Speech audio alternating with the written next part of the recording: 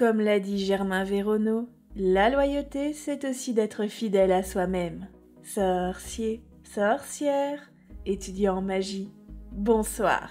Si je vous dis serviteur du Seigneur des Ténèbres, il est fort probable que vous pensiez à lui, lui, lui, elle, eux et peut-être même à celui-là. Mais ceux à qui on ne pense pas directement en dehors des hybrides ou des géants et qui pourtant ont eu un rôle prépondérant dans la Seconde Guerre des Sorciers, ce sont les créatures sombres. Plus précisément, nos anciens gardiens d'Azkaban, les détraqueurs. Et le plus surprenant dans cette histoire, c'est de comprendre comment ces horribles et abjects non-êtres se sont retrouvés sous la coupe de Voldemort. Allez, installez-vous confortablement, prenez un chocolat chaud, une boisson réconfortante et gardez un souvenir heureux dans un recoin de votre tête, on ne sait jamais. C'est parti pour comprendre pourquoi les détraqueurs ont prêté allégeance au Seigneur des Ténèbres. Bon, avant toute chose, reprenons en quelques points succincts le rôle des détraqueurs. On sait que ces non-êtres ont longtemps été employés par le ministère de la Magie comme geôliers de la prison des sorciers britanniques. Si vous vous demandez comment le ministère en est venu à faire appel à ces monstres, passant ainsi complètement au-dessus des droits de l'homme, eh bien c'est assez simple à comprendre. Avant que le ministère de la Magie ne mette la main sur ce petit bout d'îlot perdu en pleine mer du Nord et en fasse une prison, elle appartenait à un sorcier des plus sadiques. Sa maison ou plutôt sa forteresse incartable, lui servait à se loger loin de la communauté des sorciers et bien loin des autorités locales. Et je pense que vous vous doutez des sombres raisons derrière ce choix. L'objectif n'était pas l'ermitage, mais bien l'expérimentation de toutes sortes de tortures et sciences obscures sur des marins perdus en pleine mer ou attirés par le machtadik sur l'îlot. Évidemment, ce charmant monsieur n'étant pas immortel, eh bien a fini par mourir, laissant ses victimes captives seules, sans eau ni nourriture.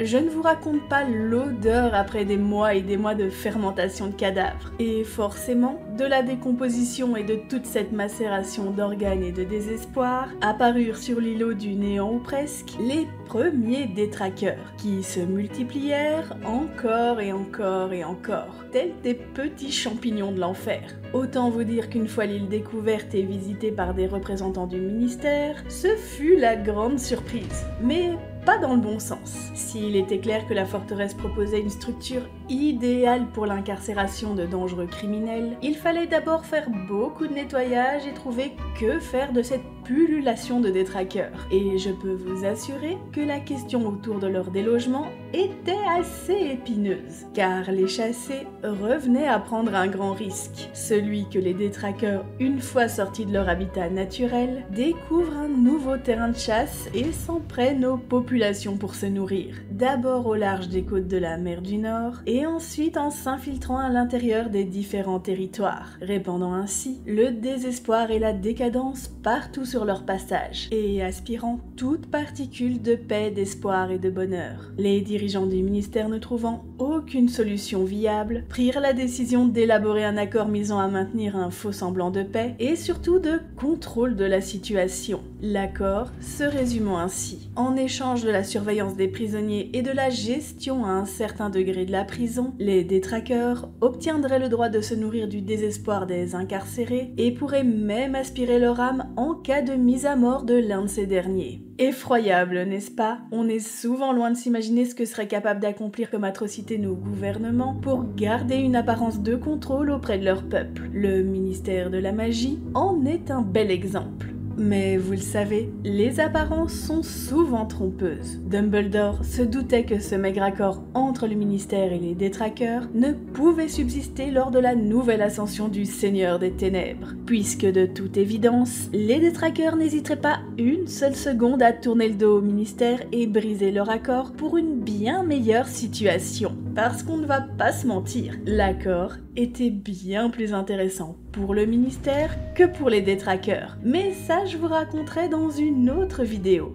comprenez que Dumbledore n'a jamais vu d'un bon oeil l'emploi des détraqueurs au sein de la prison. S'il ne cautionnait absolument pas le traitement inhumain que réservaient les détraqueurs aux prisonniers d'Azkaban, il anticipait également leur déloyauté. Et ce n'est pas faute d'avoir averti le ministre de la magie pour qu'il puisse anticiper la catastrophe arrivant droit sur eux. Dumbledore dira à Cornelius Fudge dans Harry Potter et la Coupe de Feu Voldemort est revenu. Si vous acceptez ce fait tel qu'il est et si vous prenez les mesures nécessaires, nous avons encore une chance de sauver la situation. La première décision, la plus importante, devrait être de retirer aux détraqueurs le contrôle de la prison d'Azkaban. Ridicule, s'écria Fudge. Enlever les détraqueurs Je serais démis de mes fonctions si je faisais une telle proposition. La plupart d'entre nous n'arrivons à bien dormir que parce que nous savons que les détraqueurs montent la garde à Azkaban.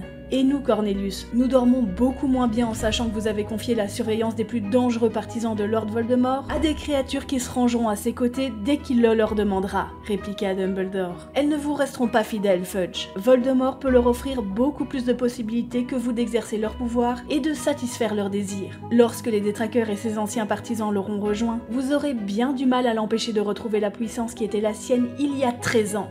Ah, la politique de l'autruche. La signature phare de Cornelius Fudge lors de son mandat. Mais malheureusement pour lui, Albus Dumbledore avait raison. Il était d'une évidence folle que Voldemort allait passer un accord plus alléchant avec les détraqueurs que celui qui existait déjà entre eux et le ministère. Et il était facile de se douter que n'étant pas des créatures au cœur pur, briser un accord et prêter allégeance à Lord Voldemort ne leur poserait aucun problème. Comme on dit, qui se ressemble s'assemble. D'ailleurs, Lord Voldemort dira à ce sujet Lorsque la prison d'Azkaban aura été ouverte, les Lestrange seront honorés au-delà de toutes leurs espérances. Les détraqueurs se joindront à nous. Ce sont nos alliés naturels. Mais qu'entend-il par alliés naturels, me direz-vous? Eh bien, comprenez par là qu'une alliance entre eux ne pouvait qu'être d'un bénéfice mutuel. Personne n'y perdait. Déjà parce que Voldemort et les détraqueurs étaient très semblables sur de nombreux points. Ils répandaient le désespoir, l'effroi, le chaos, la destruction et la mort, ce qui leur faisait quand même un sacré point commun et rapprochait leur objectif de vie de façon non négligeable. Ensuite, comme je l'ai dit, leur accord était du donnant-donnant. Si les détraqueurs aidaient le Seigneur des Ténèbres à gagner du pouvoir et de l'influence grâce à son règne de terreur, les détraqueurs auraient en contrepartie un nombre de victimes à leur disposition jamais égalé auparavant, ce qui leur aurait permis de se nourrir à outrance et de se multiplier encore et encore. Et autant vous dire que la liste des victimes aurait pu être longue, composée de tous les opposants de Lord Voldemort, les personnes arrêtées et séquestrées par les Mange-Morts et le reste de la population des îles britanniques, afin que personne ne tente de se rebeller grâce à la morosité, l'anxiété et la déprime ambiante qu'instauraient les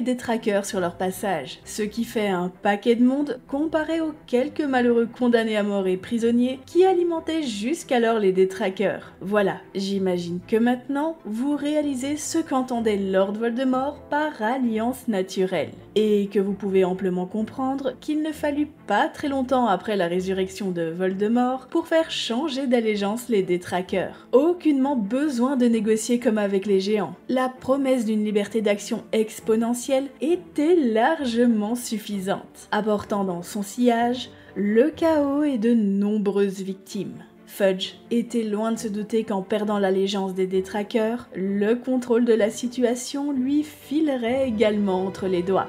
Non seulement il a dû faire face aux évasions massives à Azkaban et aux dégâts commis dans le monde des moldus et des sorciers par les plus dangereux mange-morts évadés, mais devait également s'occuper du problème des détraqueurs hors de contrôle qui sévissaient dans le pays. Et il faut bien dire les choses comme elles sont. Fudge n'a pas été l'homme de la situation. Il a été démis de ses fonctions face à ses évidentes incapacités. Bien qu'il se soit accroché à son poste jusqu'au bout, Fudge a fini par démissionner sous la pression étouffante de la communauté magique qui ne pouvait plus le voir en peinture. Il faut dire qu'il a brillé par son incompétence, non seulement en cachant sous le tapis les preuves évidentes du retour du Seigneur des Ténèbres, mais surtout en remettant systématiquement en doute la parole de Harry et de Dumbledore concernant le retour de Voldemort et ses sombres ambitions, car ce ne fut pas sans conséquence. Voici ce que Cornelius Fudge dit au Premier ministre Moldu dans Harry Potter et le prince de sang mêlé.